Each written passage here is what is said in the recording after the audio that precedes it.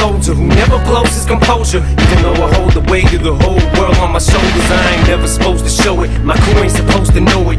Even if it means going toe to toe with the Benzino, it don't matter. I never drag them in battles that I can handle unless I absolutely have to. I'm supposed to set an example.